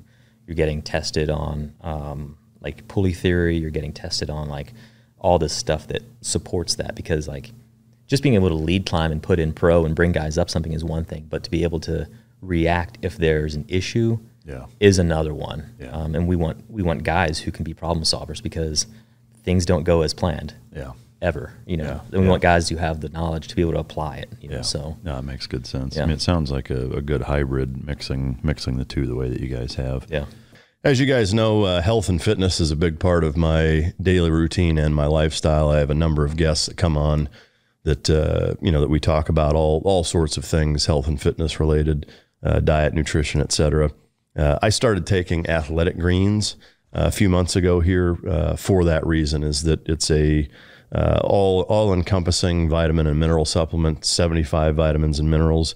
It's lifestyle friendly, whether you do keto, paleo, vegan. It's dairy free, gluten free, less than one gram of sugar. There's no uh, GMOs or nasty chemicals. There's no artificial anything in it, uh, and it's just very nutrient dense and uh, and gives you that that supplementation that you need to combat cold and flu season coming up to bolster your immune system uh, and just help with a with a healthy lifestyle. Um, right now, the the subscription, if you sign up for it, comes with a year's supply of vitamin D, which again uh, is is crucial to uh, immune support, as well as five uh, on the go packets uh, with that first purchase. Um, whether you want to invest in in your health or just supplement an, an already existing protocol that you have, uh, Athletic Greens has been a a phenomenal staple uh, that I've added into my regimen, and I couldn't be happier to be working with them. Uh, if you want in on that deal, go to athleticgreens.com forward slash Mike Drop. Um, and they, they do a phenomenal job at uh, all the things that uh, health and fitness um, wise need to be done on a daily basis. So check them out. Go to athleticgreens.com forward slash Mike Drop, and they will hook you up with that uh, special deal. Are you a, a sport climber by by hobby because of the amount of time that you've spent? Or yeah. There there was a time when I really got into it. Yeah. Um, when I was when I was an instructor there, um, I climbed a lot, and uh, I really enjoyed it. yeah, Um, I, I did some sport climbing. Most most was traditional climbing, but um, and for those who don't know the difference, sport climbing is like the route's already bolted for you. You know, it's an established route. You're going to go there and clip the bolts. Whereas traditional, you're you're using stuff you bring with you to put into the rocks for your own protection. So, um, but yeah, I got into it and I was like pushing really hard, pushing grades. I think the hardest I'd ever climbed was uh, I was leading like 11C damn. but I think that was like that was definitely like at my best hardest. I don't I, I wouldn't say I could climb every 11B and 11A out there. yeah, but that's tr- traditional eleven Cs. Yeah. God damn, Yeah. that's crazy. But I'd say I kind of hovered I kind of hovered around the comfortable uh, at 9 9 plus leading uh, follow up to 511 a little bit higher than that depending on the route. Yeah, yeah, that's Um, impressive. But that's when I was like really at my prime. Yeah. That's before I got into ice, which is a whole other Totally story. different. I love ice. That yeah. shit boggles my mind. I, I don't get it honestly. Like, I mean, I, I understand the the requirement operationally to have to be able to, to do that or understand it and, and traverse it if necessary or whatever. What I don't get is the, the hobby aspect. I, I really don't. Yeah. I guess just I don't know, that's like um I don't get base jumping either. So a lot a lot of guys from our Yeah. communities do a lot of shit that I don't yeah, understand. I guess just uh, I don't know the thrill and the challenge. Yeah. And, you know. Yeah. Yeah. All right. So you spend several years there. I'm assuming that was kind of a nice break and spent some time with the family and bolster your skill sets, but you're probably itching to get back. Or? Yeah, I would say almost on the opposite of that. Oh, really? it's a incredibly time intensive time Oh, okay. intensive job. So, yes, I was in Colorado. I wasn't deploying, but I was gone a lot. Yeah. You know, my my pillow to not pillow time at home you know, was almost 50 50. Like I'd spend or probably over 200 days as an instructor Yeah. just out somewhere. So my wife, she was the one who wanted me to be back on an ODA. She's like, Oh, you know, at least when you're gone, you're gone. Yeah. Whereas now, like you're here and then you're gone. Like there's not enough time for her to really get a routine. Yeah. So it was almost more irritating, Yeah. especially when like, I don't know, like I don't want to say there's some animosity because I don't want to paint it like a bad picture for my wife, but like I've had fun jobs most of my career. Yeah. And when you do fun shit when you're gone and your significant other is like dealing with stress and like dealing with kids, like it's hard not for them to hold that against you. Be like, you're out climbing and doing, you're out skiing, you're in Camping Vail, and you're in Vail and doing all this stuff you like doing. And like, I'm here with the kids, you know? And it's not like it,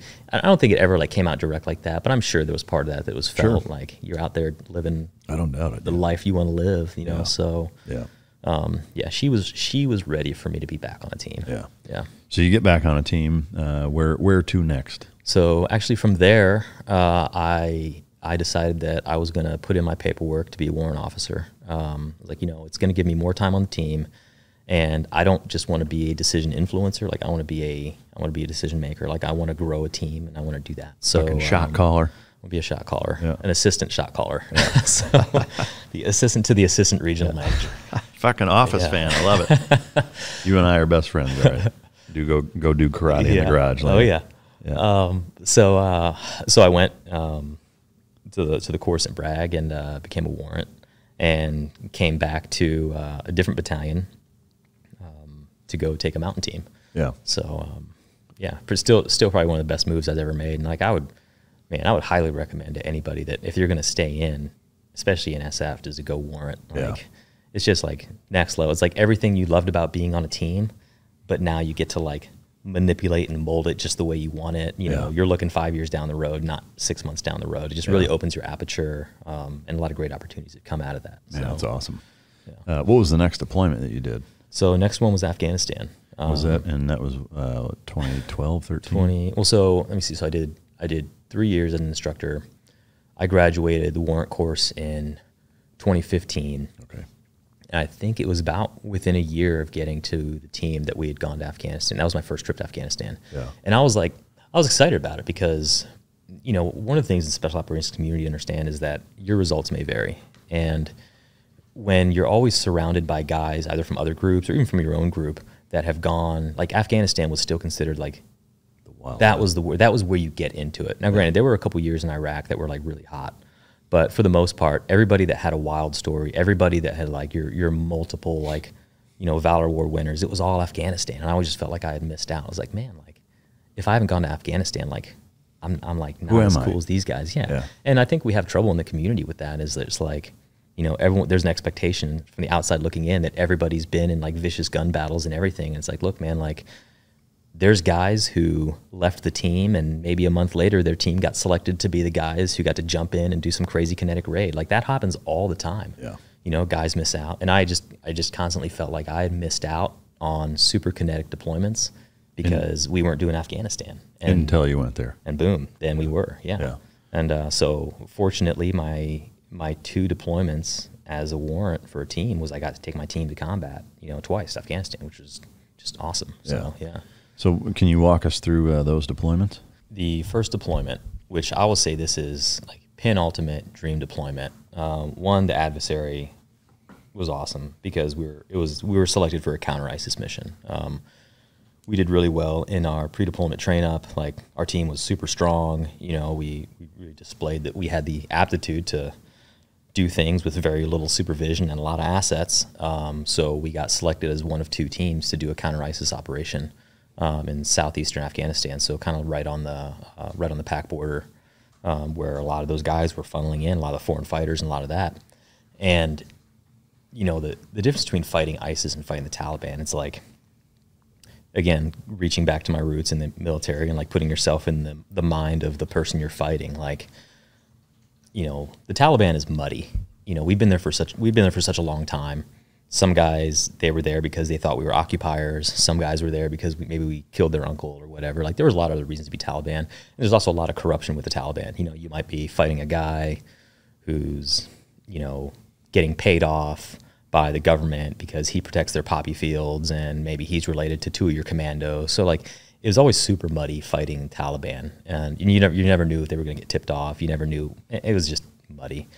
ISIS, on the other hand, like everyone hated ISIS. Taliban hated ISIS. We hated ISIS. Like, and they're just such a scourge. Like, they were like truly a disease. They were there. They were there purely to dominate, and like, you know, their atrocities that they're willing to commit because of that. You know, like they had no no issues like raping, murdering. Like they'd execute, you know, someone's husband right in front of the family, and like they just horrible shit. So Was this ISIS K technically, or this was ISIS K. Yeah. Can Yep. you can you kind of synopsize the distinction? Yeah, so it's like ISIS in the Khorasan, which was like that kind of region, like Okay. just what they considered it. Yeah. So it's regionally. It's not. it was regionally, and that's what we called them. You know, to everyone there, it's Daesh. You know, that's who ISIS was. Um, but everybody hated him, and uh, we were working in an area that was like it was capture the flag with ISIS. Like they would take a village, and then we would take back and re-place populace, and like we would like so.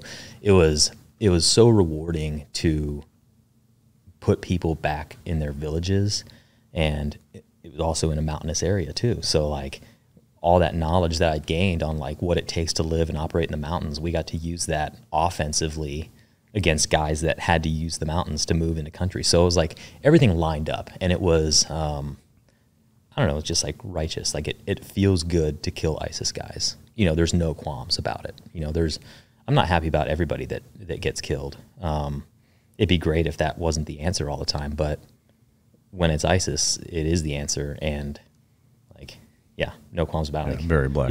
yeah, very black and white. Yeah. Yeah, the more we kill, the better. Uh, I loved it, and we did very well with that. Um, but it was it was just such a thinking man's game because we were we were at an outpost, um, and which was when I say outpost, it like legitimately, not much bigger than this building. Uh, so small bombed out building that we kind of reinforced. We had a platoon of infantry, infantry guys that were attached to us, and they were kind of our security element at night. They would be up in the towers and our little sand sandbag towers. How, many, how many is a platoon? uh, like 30 some guys, yeah. Um, and then, so it was those guys, and then it was, you know, my detachment plus a couple like uh, real close Afghans that worked with us. And then we had our commandos that stayed close at kind of a different base. Um, but yeah, like we were we were out and in it at, at all times. Um, we didn't have like a big base where you could just like not have never be on guard and you know there was no Burger King, there was none of that. Like we were in the field, um, which was great. The whole time. towards the end, um, we went to a split team where I was running six guys who stayed in the valley um, for another like month or so, and then we finished the deployment uh, like on another not bombed out base like that, but um, at like an actual base. But the majority of the deployment. Majority of the deployment was just true cowboy, choose your own adventure, like you know the CONOP process. You know that you know, the, generally when you're going to go on a mission, especially, you know, as it got later in the deployment, it was more and more requirements. Like, we need you to do this 30 page thing that's going to have all these things laid out. Then you're going to brief it to the commander, and all the staff are going to see it, all that. Like, our concept when we first got there in that was like five W's Yeah. written up. And sometimes it was after, hey, we did this, you know. Yeah. And it was great. So we had the freedom to operate, which is why we were effective. Um, Yeah. so and we had assets, you know, we had we had F-16s, we had drones, um, and all that. But uh, our security, our primary security was our relationship with the villagers. Um, Like you they know, would they would give you heads up on shit that was going on. like you know, we weren't we weren't able to drive around in big armored vehicles. Like the roads were too small, so we were on ATVs and razors, and that was how we had to get around. And um, like we could have, we tried the um, like MRAPs occasionally, but like those things would like a tire would drop, like break out part of the road, and it would roll over, and it's embarrassing and like incredibly intensive to roll a freaking however many ton vehicle back over and just so yeah so we were um, and in fact you're more vulnerable at that point too just dicking around with that situation so um, primarily primarily we were on atvs and razors so when you think of how vulnerable we could be if somebody was in an alley or if somebody was putting in like even a small ied would like toast a atv Yeah. so our ability to move throughout the area without getting messed up was directly related to the villagers' faith in us and that we were showing them that we were there for them. Um, so, which is something I, I loved. Again, like going back to, you know, enjoying being with other cultures and enjoying like taking their problems and making it my problems. Um, it was just, it was so rewarding. And you know, we facilitated a lot of people getting released by ISIS or a lot of people that were like displaced and we'd be, be able to set the conditions for those guys to like come back or like reunite families. Was, So- was there any negotiation, or this was all through force? all through force. Yeah. Yeah. One question I had on the, I'm assuming you were the the head mountain guy. Uh, did you have other mountain qualified guys in your? Yeah. Yeah. Yeah. We we at the time, and again, part of the fun of being a warrant is you get to build the team and you get to um, I don't know, like make it what you want and get the right guys to the schools. So at one time we were the most qualified mountain team in the, the entire regiment, probably entire special operations, because we had like we had like four former instructors, like half the guys were summer mountain guys, you know, we had a bunch of winter guys too. So we had like Stacked. a stacked mountain team, which Yeah. was great in that environment. Yeah. And it's it wasn't great in that environment because we were like climbing up ropes and sniping dudes and stuff. But we just we understood how difficult it is to move in the mountains, and because of that, we were able to determine the most likely corridors. Be like, hey, if, if a bad guy's up here, he's only going to be here for this long because, for one, there's no water up there, there's no food, and if he's going to get food and water up there, it has to come through this route. So we were able to use that to kind of develop our own intel on like, hey, here's the route lines, here's how people are getting through. If we can shut this corridor down, either through like uh, fires or artillery, whatever, we can keep this corridor open for so long to allow this movement of friendly forces. So like we were able to really use that mountain knowledge Yeah. and use it against them just by just by understanding what it takes to be in that environment. It seems like, um, f- at least for Afghanistan specifically, that it would be, it it would have been really, really beneficial to have like all special operations, or, or even just having guys like you as as advisors for every fucking unit doing everything to provide that type of information. I think would be game Yeah. changer. They had um, they had these guys that I had kind of looked into it too, just because the money was just phenomenal. But they were like former team guys who would get attached to the infantry units or to, to like the major commands, and they would be soft advisors based off their experience. Yeah. Um, you know, we had we had one guy that did it, and he was pretty good. He he would he'd been a uh, CAG guy, and then he was a, a CIA guy for a while. Um, so he knew the area really well, and it was like really beneficial. Sometimes, sometimes it was like, "Hey, man, I, you're just an advisor, so let's just remember that." But the other part was like, "Hey, I do appreciate everything you're bringing to the table." Yeah. Um, but yeah, like that was a very lucrative job for guys to go do that on the civilian side. Like, Yeah. un, like unreasonable amount of money they were making Yeah. doing that. But yeah, I can um, imagine. yeah, Uh, so when when you got into country, was there a, a sit down for you being the warrant where whoever your leadership was kind of said, "Hey, Bryan, here's here's the fucking big mish. Here's why you're here. Here's the objective." Like, how specific were they in, in communicating to you what the the job was? for that one, it was pretty cut and dry.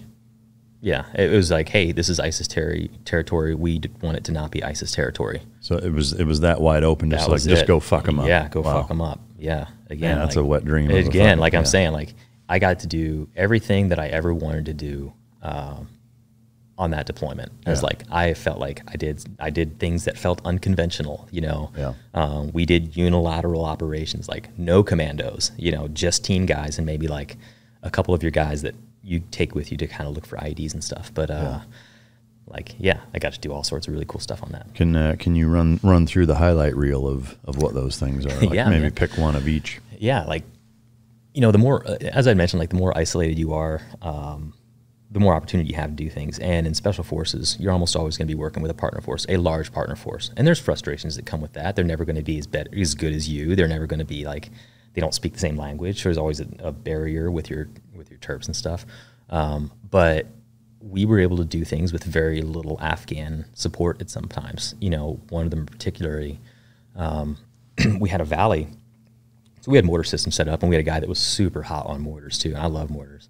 And uh, so yeah, we get up early, me and like six guys, um, and we go creeping up into the mountains. You know, set up a little hide site, and we look, and we can finally get eyes on legitimately this area we've constantly had problems for. And man, we just started calling in mortars like a mother, and it was so darn effective. But it was also the point to it's like man, like we don't have like our security is just our small little couple of guys right here and just the the ability to go out and do that as an SF guy without a bunch of Afghans is like really unique. So Yeah. um, being able to do that was freaking awesome. But um, What what size mortars are you guys using? so we had uh, 81s and um, and the 60s. We had 120s at the other little camp that was close. The other team that was working a different valley. Um, we didn't call them in as often, but um, yeah. And I'm a huge fan of freaking mortars. Yeah. Yeah. What I mean, so with those two sizes, what uh, what what what was a realistic range uh, operationally during that that period? Uh, a couple K, yeah, yeah. So a couple kilometers at, at most. Did Uh, they have any? like enemy? Yeah. Uh, yeah, fairly ineffective though. Yeah. yeah. They just Yeah, they weren't effective. They had rockets and stuff, but again, they weren't. It's, you know, it's hard to land something accurately in the mountains too. You know, so Yeah. Uh, funny thing about that though. Um, so I don't think it's a big secret that we can usually hear what they're saying on open source radios. They're using little like Icoms. Yeah. So we have our guys listening in, and we had a dude call in mortars on himself, and it was the funniest thing because our mortar guy, who's like your stereotypical weapons guy, he's like strong jaw, big, like caveman, super smart dude, but like total caveman, like Yeah. Really, really embraced the weapon specialist uh, like Yeah. uh, mentality, um, and a super good friend. So um, we're shooting off mortars into uh, into this valley just just because it's been quiet. Let's see what's happening. Uh, we start hearing some chatter, and it's like, "Hey, uh, they're shooting mortars. That one was kind of close."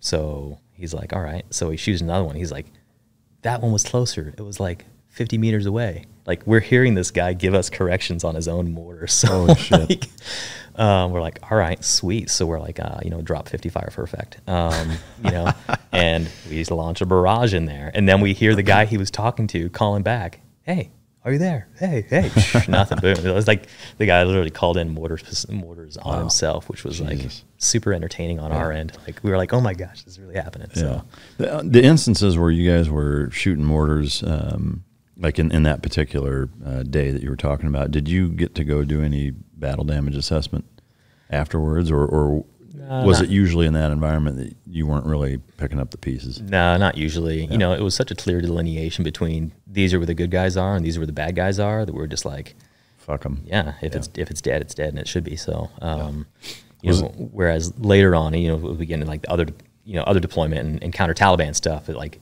your battle damage assessment was incredibly important. Yeah. and we'll get into that because that was like now you're fighting the Taliban while we're negotiating with the Taliban. Yeah. So now there's some very weird rules and very Yeah. weird stipulations. Yeah. So I guess b- before we get into that, some of the other like ISIS highlights. Mm-hmm. Um, what what stood out on that deployment is really rewarding unconventional stuff, or, or just you know different operations you had. Yeah, and so I guess there's two, kind of two answers to that as far as like memorable and whatever, because there's memorable rewarding, which is getting people back to their homes and giving people hope, which was just huge. Um, again, just like being able to take territory and hold it, and like we when we took back one of these villages, um, it was a major operation. You know, we had air, uh, we had our commandos there, we had snipers out, we had machine gun, like a truly like awesome operation. And when you hear the enemy call on the radio to say that they they need more people just to help move all the dead bodies, like Wow. like we have so we have so many dead here that it's starting to smell, and we can't support like like we could hear their desperation, like they knew that they were fucked. Yeah. Um, and then right after that, being able to put people, hey, this is your village now. ISIS doesn't own it. Freaking get back there. You know, it was like, it was awesome. Yeah. Um, super rewarding. and then, and then on the other side, you know, um, you know, I got I got kind of messed up on that trip, um, like like mentally. Uh, you know, part of being part of being the ground force commander, you know, is you're responsible for every munition that leaves the sky. And uh, one particular operation, um, we had a RON site set up, so it's a rest overnight. And we joke because technically the camp we are staying in was a RON site too, but it was like more like rest over a year, like rest. It was a Roy site. it was a Roy site or a ROM site. This one was legitimately a Ron site, and it's funny they were all like funny named. We had like Ron Burgundy and like Ron. I think this one was actually called Ron DeRousey. Like you know, uh, so um, I had a couple of my guys there. They were kind of pre-poed there that way we wouldn't lose territory in preparation for a bigger operation to come. Um, so I had like a sniper team there, a bunch of our commandos, maybe like two or three other guys, just kind of rotating in and out security. And I was ground force commander for that day. I also remember I had just gotten promoted that day. Uh, I'd made W two, so like it started off great. Like I was in a super good mood. Uh, we had AC 130 flying above, and we get a call from the aircraft, and they're like, "Hey, we've got we've got two guys uh, kind of up in the hills messing around with something." I was like, "All right, great. I hope they're bad guys. Let's keep an eye on them." And um, they call back and be like, "Yeah, definitely uh, two ADMs. So ADMs, adult males. That's usually what we're looking for." Um, looks like they're digging in a cache. I was like, all right, even better. This is just gonna, you know, we're gonna kill these dudes right off the bat and just have a great morning. Um, so they're like, hey, yeah, these guys, they just pulled AKs out. They're definitely moving towards your your RON site. I was like, all right, sweet. Talk to the snipers on the radio and be like, hey, man, um, we're getting these reports. They're like, yeah, yeah, we see them. They're too far to engage, but like, like we can tell they're up there. All right, awesome. So um, my thought on that one was like, because we were about to do an operation, I wanted to kind of send a message. So, you know, talking to the bird through our CCT, like, let's hammer down on these guys. Like, let's not just kill these dudes. Let's destroy the cache And let's make sure that anybody else that is thinking about doing something today re- rethinks their decision. Because in the end, as much as, you know, I like the opportunity to kill bad guys, I don't like the opportunity for them to kill my guys. You know, like, and if that means that we could just shock and awe and speed of violence move through an objective faster than they can engage our guys, I'm going to choose that every time. Sure. Like there's no fair fight in war. It's not like, well, let's let them get closer and Yeah, and then we'll engage them with a like weapon. No, like why would I ever put Yeah. a multi-million dollar special operator friend of mine in a position to where a freaking like teen with a rusty ass AK could shoot him, you know? like Yeah, I mean, one one of my favorite sayings as it relates to special operations is if you ever find yourself in a fair fight, you've done something horribly wrong. And uh, I agree. Like stack the deck in your favor to the best of your ability every time. yeah, like, you know, nightmare scenario of like, yeah, do I want my guys to have to freaking go in into a barricaded PKM into a building? Yeah, heck no, man. Like that's not worth it. Like how much is that guy worth? None. Yeah. So that's being smart about it. But either way, um, going back, I was like, yeah, like let's hammer this thing down. So um, AC 130 opens up, and like for those who haven't um, who haven't seen or watched an AC 130 pound something, it's like it's it's incredible. Like because the distance too, you know, you're seeing the you're seeing the you're hearing report or you're seeing the puffs of smoke and they're mismatched and you're just like just watching a freaking airplane shoot howitzers out of it. And and they unloaded with everything, everything they had, um, not all their ammo, but like every munition, you know, they put on a show. So I was like super pumped. They're like, yeah, these guys are dead, totally. Um, you know, so I was like, yeah, that's great. So a little while later, my snipers report. They're like, hey, um, there's people going up to the bodies. It looks like it looks like there's some women going up to them. We're like, no, we're like, okay, well, let's keep an eye on them, see what they're doing. Um, it's like it looks like they're trying to hide the weapons. We're like, huh, okay, well, that's weird. Well, not long after, we get a call from um, one of our local police guys, a shady character, but either way, he's our character. So um, he calls and says, hey, the uh, the village is saying that you just killed killed a couple of kids. We're like, no, no, no. We saw it. Like they were bad guys. They had guns.